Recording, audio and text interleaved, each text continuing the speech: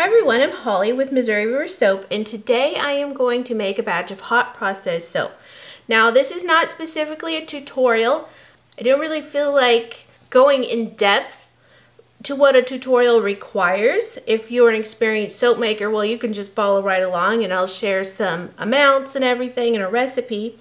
If you've never made soap before, it's something you really need to research and understand safety procedures because this is a dangerous situation. We have poison causes severe burns. It's sodium hydroxide. It shouldn't be feared, but it should be respected. And it can hurt you if not handled properly. So the point of this is, come along, I'm going to make some soap, I'm going to share some recipes, but it's up to you to know the right safety procedures if you decide to do something yourself. So to get started, I do have all my safety gear on. I've got gloves, long sleeves, my goggles are on, closed-toe shoes, long pants, etc. You don't want this stuff to get on your skin, so you have to take the right precautions. So I have my recipe, and I'm doing a 2, 2.5 to 1 water to lye ratio. So I need 20.5 ounces of water. We use distilled water. So I'm going to measure in 20.5 ounces. I prefer to measure my lye solution and mix my lye solution in um, stainless steel or into a scientific grade plastic. Glass can etch over time and then can cause some problems. So that's 20.75. I'm going to let it be just because the water is a little bit helpful. If I was using the water as percent of oil weight, it would be 34% and default is 38. And lye concentration is 28.5. I typically soak 30, so this isn't a big change in water. Now, I do measure my sodium hydroxide directly into my container. I am very steady-handed when it comes to measuring it, but somebody else may want to measure it into another cup and then into their pitcher. So I do use sodium hydroxide from Essential Depot. I use a food grade, but it is still a drain cleaner. And let's see what this one says. It says high grade sodium hydroxide, lye, NaOH, for soap making, food preparation, and quality critical uses. Did you know some people use this to make uh, pretzels? Oddly enough. Anyway, that's another thing. So what I like to do is give it a bit of a shake to make sure there's no clumps. And I need 8.2 ounces. And I am not going to talk because I do not want to breathe in these fumes. I will hold my breath and do it the best I can, but wear a mask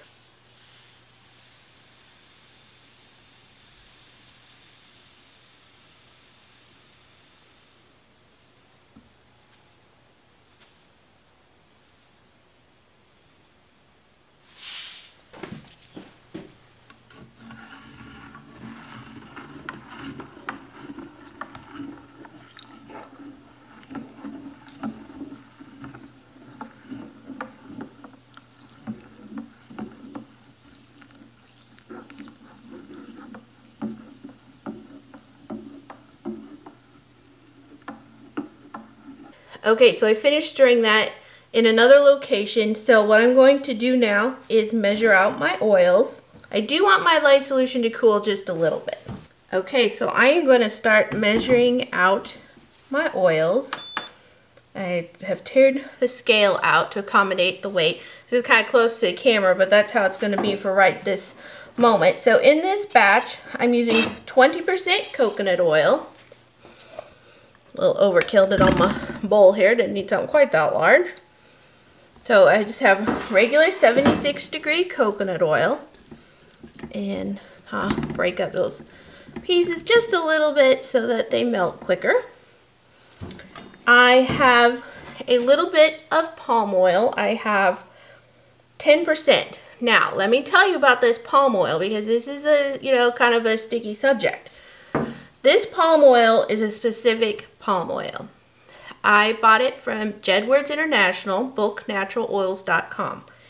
It is certified fair trade from Fair for Life and Palm Done Right. It's very important that you get good palm oil if you're going to use it.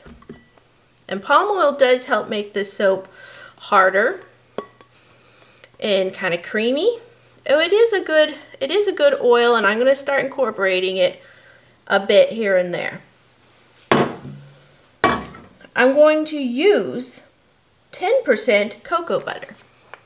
And I buy the um, wafers. These are deodorized. And let's see, that's it for the hard oils. So I did not remeasure that because I know what those ones were because they were pre-measured. Now for the liquid oils. I'm going to use 6 ounces of rice bran, which is 10%. Get this from Soaper's Choice.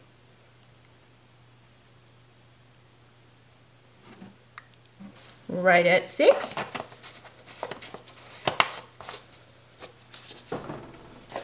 I'm going to use 10% castor oil, which is also 6 ounces. And this is from Wholesale Supplies Plus.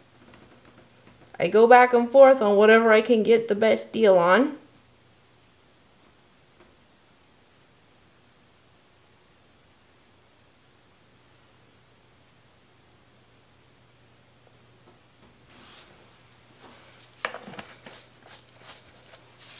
And the olive oil is going to be 24 ounces. I just get this at Sam's Club so far. It's the best price that I have found. This is going to be the main oil.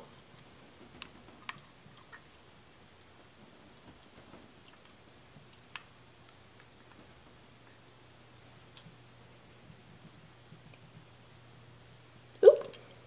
Yep, you just, that last little bit can sometimes be more than you think. Okay, so there we go. So I have 24 ounces olive oil, 12 ounce coconut, 6 ounce palm, 6 ounce rice bran, 6 ounces of castor, and 6 ounces of cocoa butter.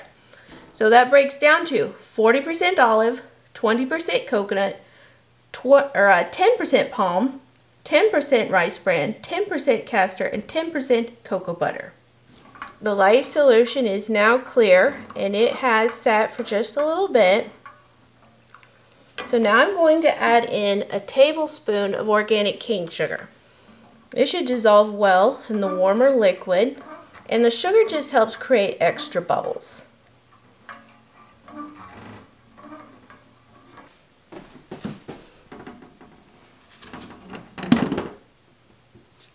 So now I'm going to turn my crock pot onto high and let it just melt those oils on its own. All right, so these oils are all melted. I've actually let them cool a bit more. They're about 160 degrees now. I was busy working on other projects. The lye solution is about 110. Like I said, everything's cooled down a little bit, but that's fine. We're gonna make it back up anyway with the heat of the slow cooker.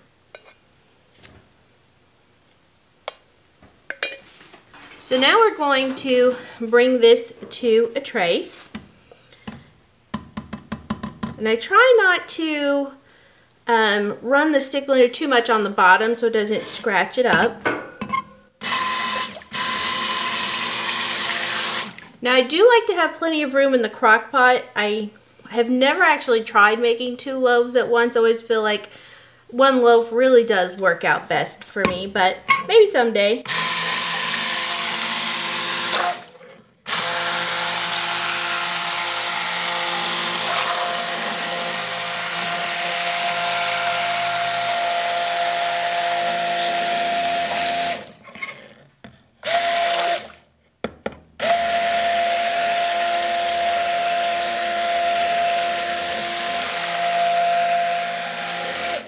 Because it's warmer, it does usually come to a trace pretty quickly, but we're not there yet. It feels, feels like it's really thickening up, but let's see.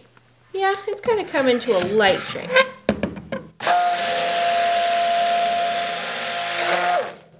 Trying not to incorporate too many air bubbles.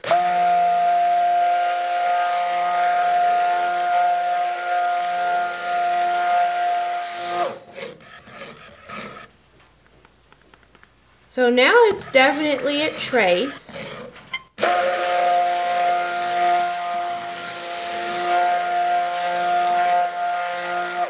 I personally like to get it a little bit thicker like this, so that's good. We'll just go with that now. And I realize that my spatula still has some, uh, there we go, that'll be fine. My spatula still has some of the cold oils on it. Okay. So you can see it's pretty thick, and that's okay. In cold process soap, that would mean we don't have a lot of time. In hot process soap, it means we're on our way. So you want to try not to have too much soap on this edge. You don't really want it to um, get too hard or anything. Alright, so right now this is cold process soap. This is not saponified or anything, so now we're going to cook it.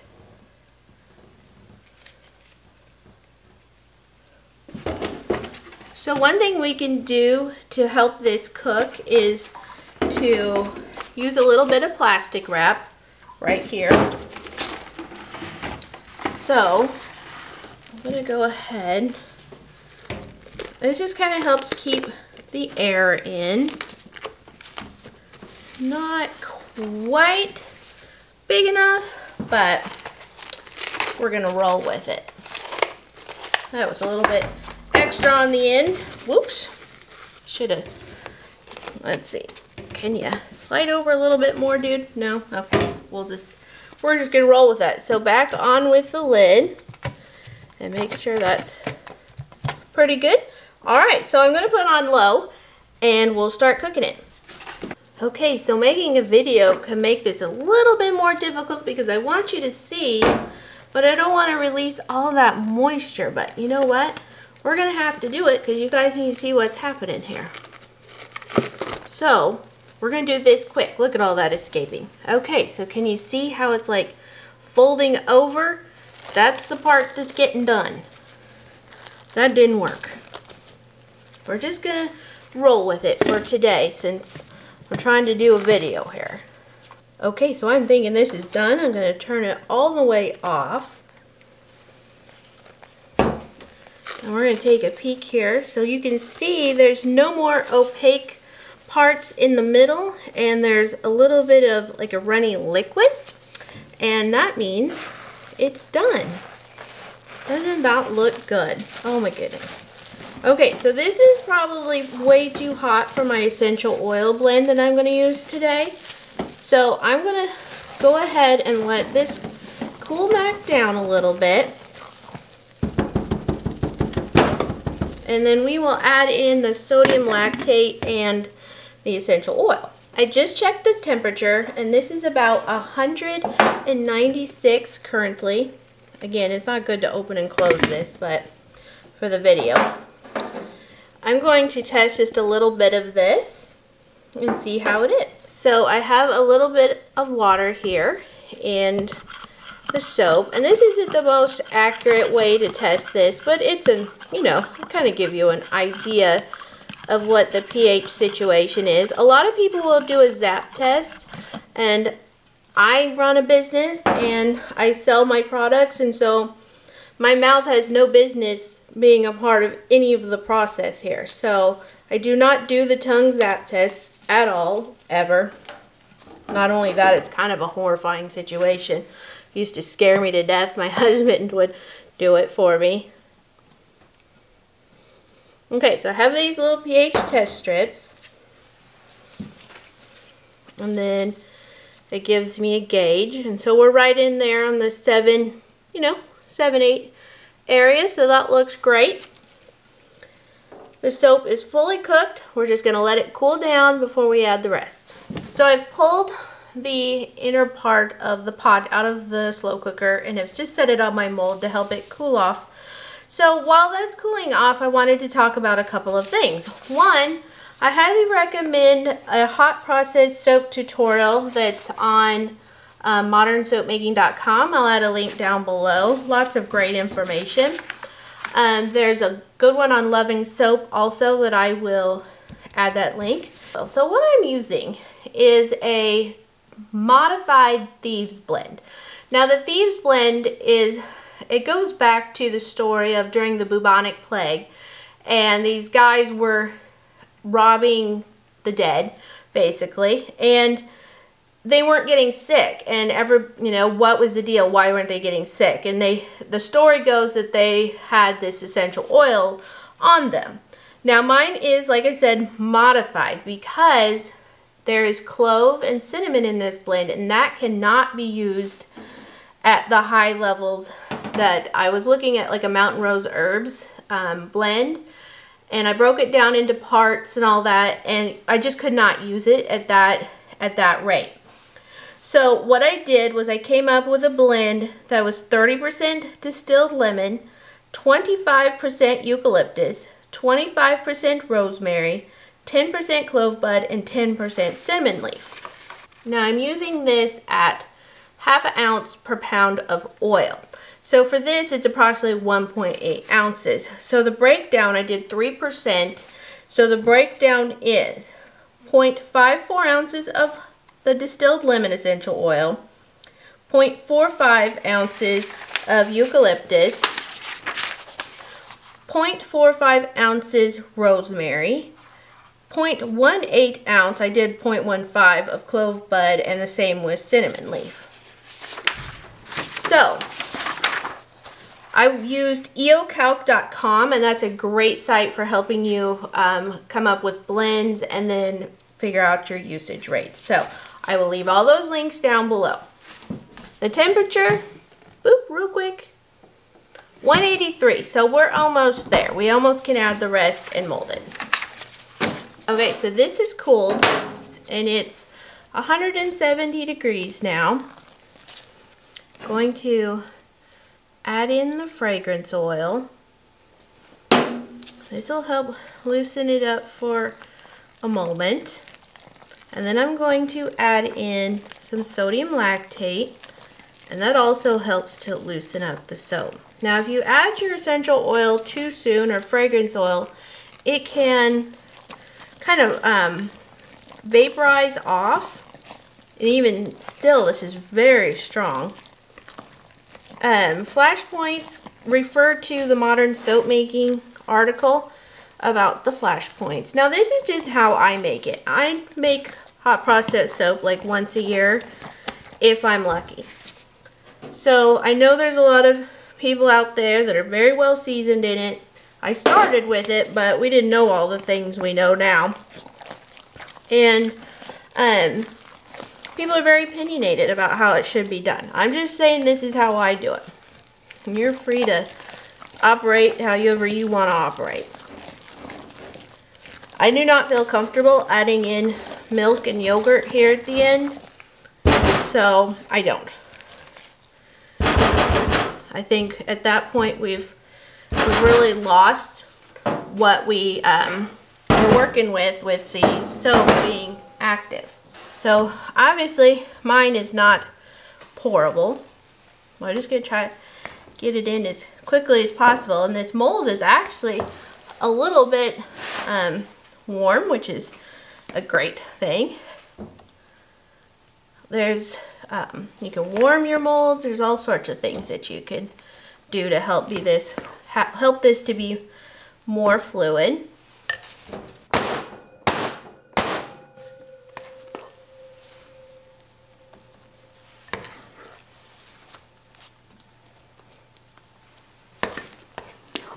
not my favorite liner in the world, but I did not feel like lining with my freezer paper.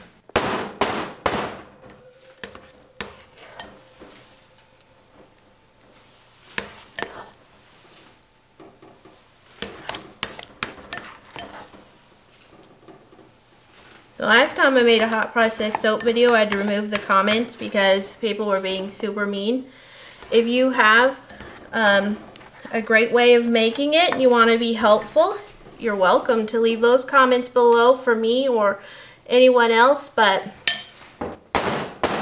leave it at helpful because not really interested in the mean comments. I just thought this would be a fun thing to make and it's a little quicker, a little quicker process. It does, it does still benefit from the cure, especially with the extra water in it. Um, but here's the thing. We're kind of going with having a soap ready a little bit faster. And if you use it a little bit faster, you just have to accept the fact that it's going to not be as amazing as if we let it cure. Now, cold process soap, you have to let it cure, but we've already sped that up by cooking it. So there we go. There's a lot left down in the crock pot, and I'm just going to work on scraping that out, and I will just make a, a little, a little pebble-sized bar thing, and I'll have some nice soap to use by my sink here soon. So I will still let this sit overnight because it's dinner time around here. And then I will come back and we'll cut it.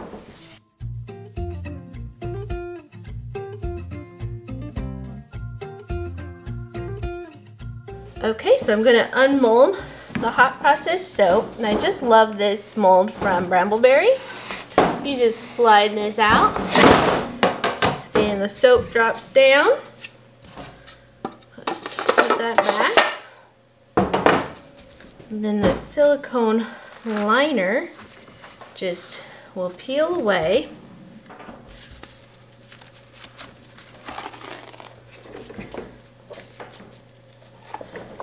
So mine's definitely rustic and the yogurt does help with that quite a lot. I've I did some reading and um, it really does make a big difference. Now when I made hot process soap back in the day, I used a lot of water.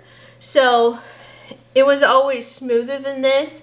But I don't like hot process soaps that really need to cure as long as cold process soaps. So I cut the water back, which lends it to a little bit more rustic look. So I'll get my cutter. Just have my little single cutter here.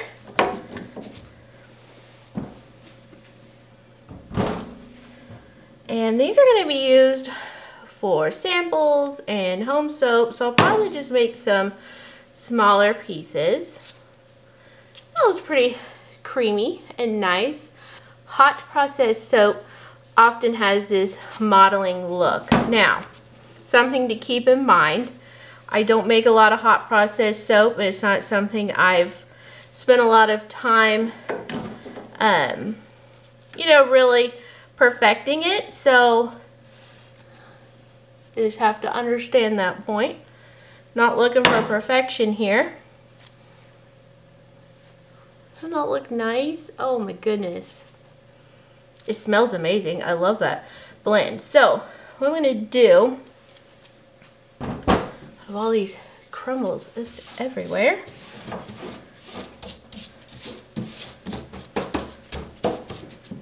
So what I did was I cut a bigger block and then I'm going to cut it into nice sample sizes. It's really critical with the hot process soap just to make sure you stir it in really well. You can see a little bit of mottling there stir in all your added goodies. I definitely prefer cold processed soap. That's what I prefer to make, but it's really kind of fun to experiment with the hot process every now and again.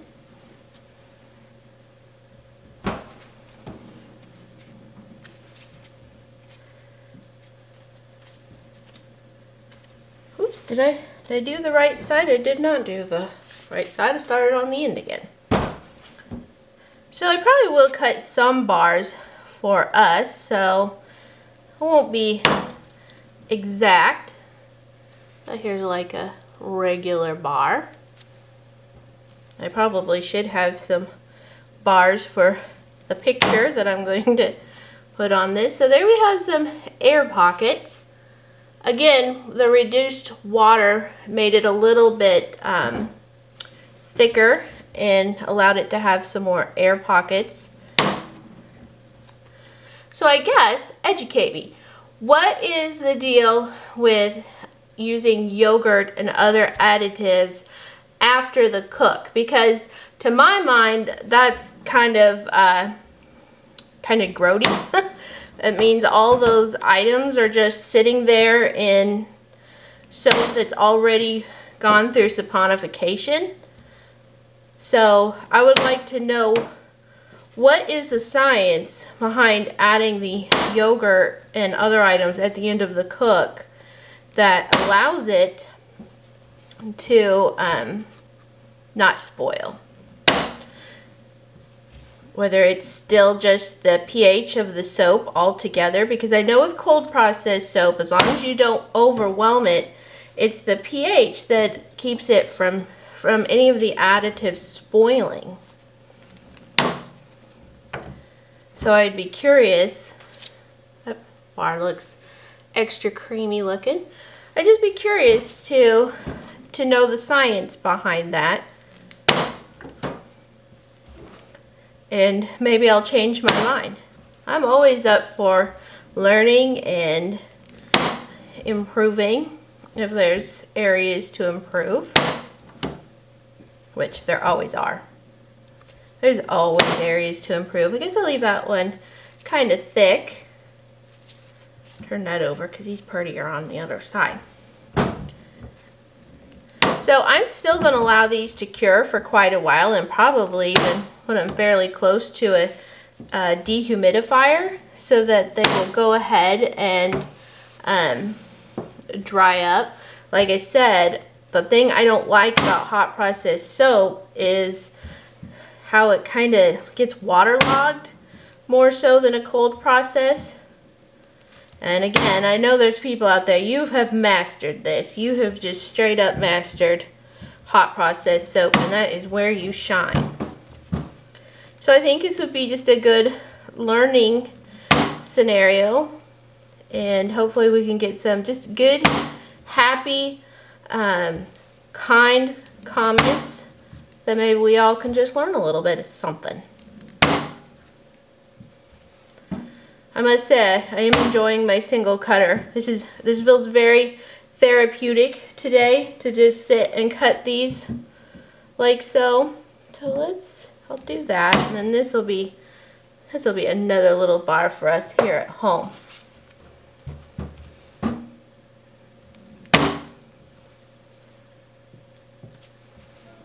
This is just a great uh, essential oil blend. It smells so good. It's definitely that earthy, you know, hot process, health food store kind of uh, scent. It's really good. It's really good. All right, so there we have my little hot process batch of soap. Just looking I was going to say cute as can be. I often say cute as a button and my daughter's always like, uh, Mom, you do realize buttons aren't actually that cute? Well, you have a point there, Missy. All right, so there we have the hot process soap. It's rustic, fast, easy, fun. All right, guys, I'll talk to you later. Bye.